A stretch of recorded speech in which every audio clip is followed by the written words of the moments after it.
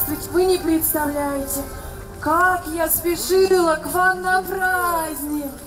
С Дедом Морозом подружиться и весело покружиться. На театрализованное представление главной новогодней елки городского округа на площади Ленина сбежалась детвора с родителями.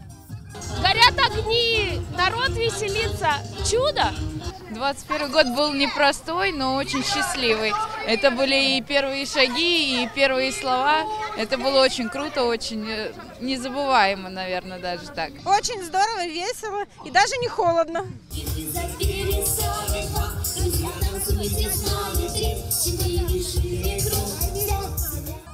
Зрителям не давали мерзнуть трое из Простоквашина, Снегурочка, Красная Шапочка. К ним из леса вышли голодный волк и волчица, чтобы реализовать коварный план – украсть Новый год.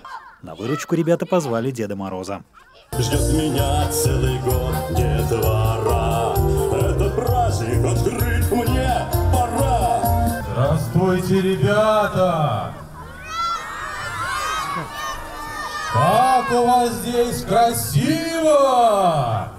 И елочка такая нарядная! Торжественное открытие центральной елки городского округа Щелково здесь, на площади Ленина, состоялось. Вот она, зеленая красавица, украшенная матрешками. Впервые в этом году мы увидели эту елку в полной красе. С этого дня каждый день на площади Ленина будет проходить театрализованное представление для детей с подарками. Ну а в несколько метрах отсюда откроются торговые ряды, где можно купить сувенирную продукцию и, конечно же, выпить горячие напитки. В этом году на площади Дед Мороз открыл свою резиденцию.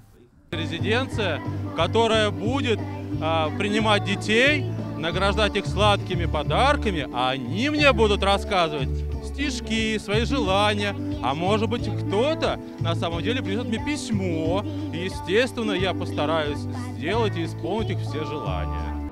В Щелковской резиденции «Зимний волшебник» бывает по будням в 17 часов, а в праздники дважды в день в 11 и в 16. У ребят будет час, чтобы рассказать стишок и получить сладкий подарок.